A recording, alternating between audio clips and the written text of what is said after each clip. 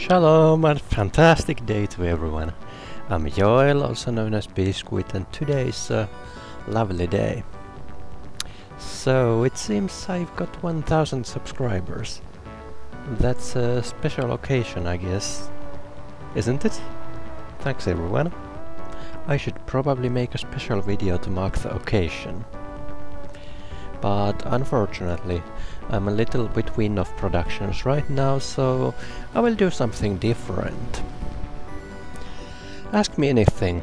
I will try to post an informative video answering your questions, but uh, because I it, it takes a long long time for me to make videos, I will concentrate on questions that might might be interesting to have answers to and which make enter entertaining videos and uh, and questions which are a little bit too long to answer in a YouTube comment.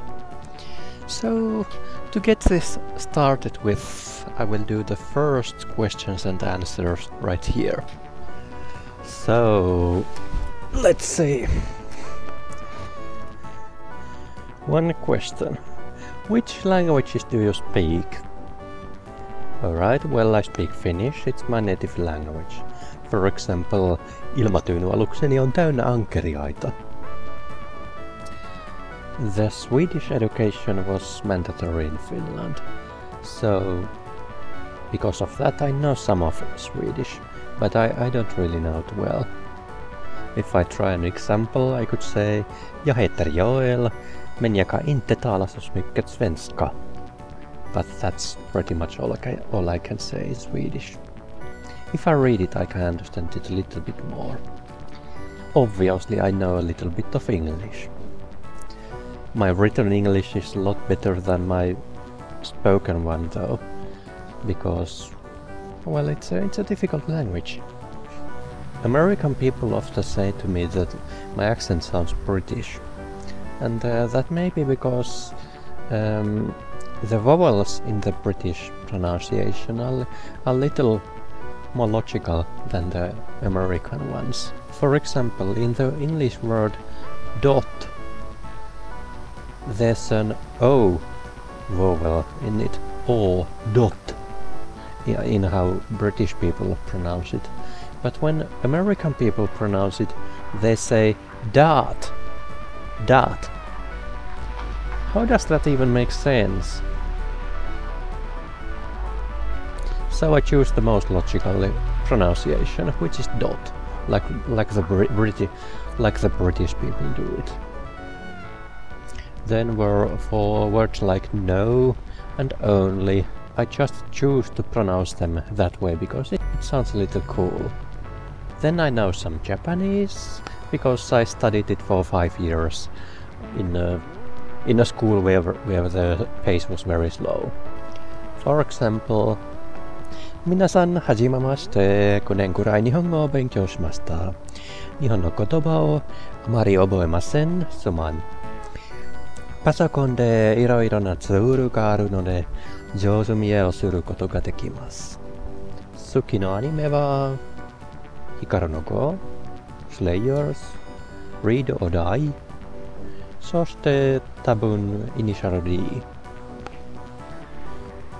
And finally a little bit of Hebrew, mostly in the form of songs and dances. For example, Hine matovu manaim shevet kam gam yachad. So, based on all that experience, I can make an educated, educated, guess if I read something that is for example in Norwegian or Estonian.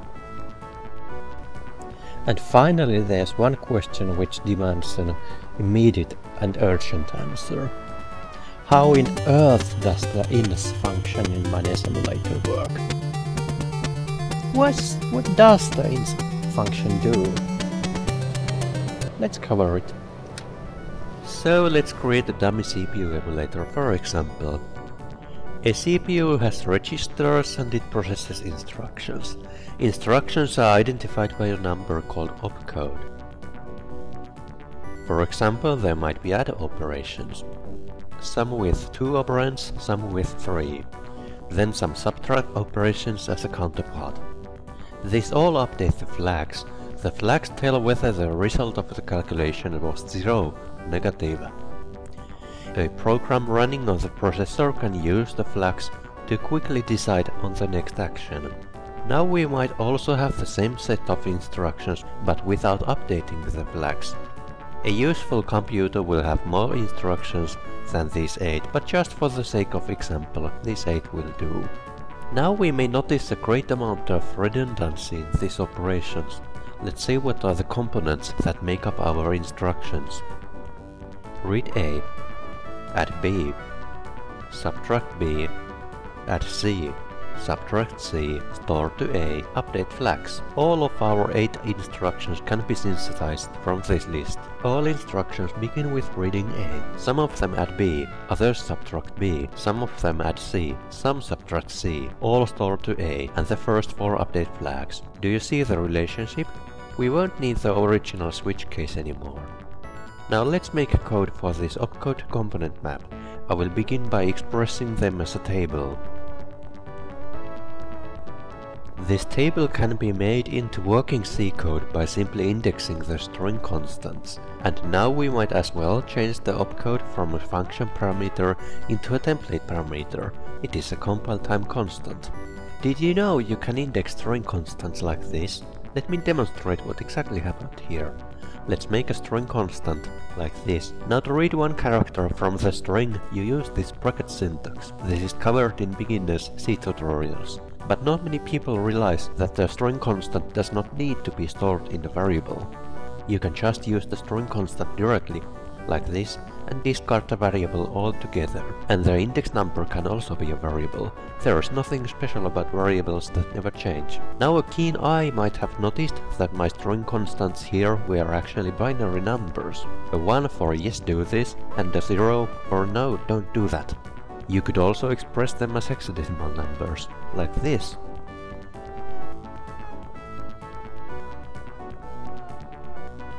Now I just need to test the right bit from the hexadecimal number. The bitwise AND operation does that. This would be all that we need. But what if we don't have just 8 operations? What if we have 72? Then our table becomes 72 characters long, a 72-bit binary number, and our hexadecimal numbers would look like this.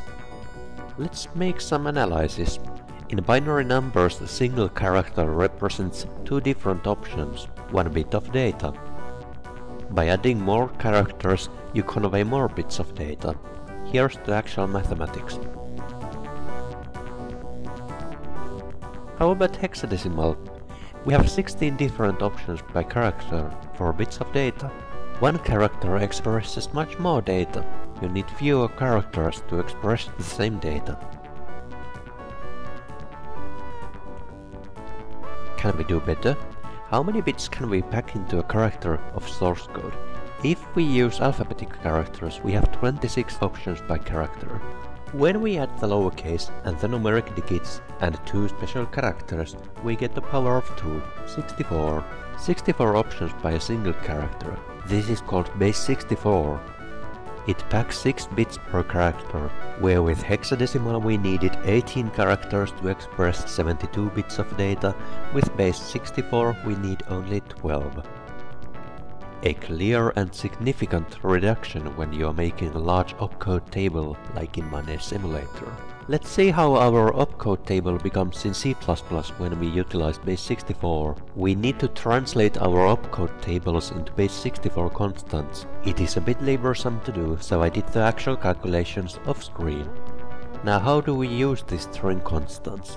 The same way as before, indexing and bit ANDing we need to calculate the index and bitmask. The index is the opcode number divided by 6. The bitmask comes from the remainder. However, this is not enough.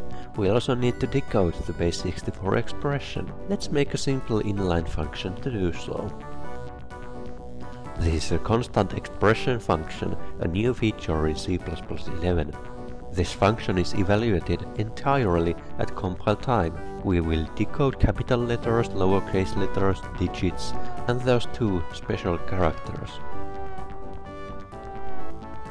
Now this was a bit of code repetition down here, so we will use a preprocessor macro to cut down the source code size. This makes the code so much neater, yet it still works exactly in the same way as it did in the beginning. Remember when I said that there's nothing special about variables that never change? We don't actually need those variables, let's poke them straight into the expression. Finally, because we only have 8 instructions after all, and not 72, let's delete the needless bits. This is what the code becomes. Tiny, isn't it? Yet it is very neat. This is in principle what I did in NES emulator, only I did not stop at base 64. I actually created an application-specific scheme that encodes 8 bits per character, not 6. Decoding that scheme was considerably more complex than decoding base 64 is. You can also see here a version that uses hexadecimal numbers instead. Thanks for watching, see you next time.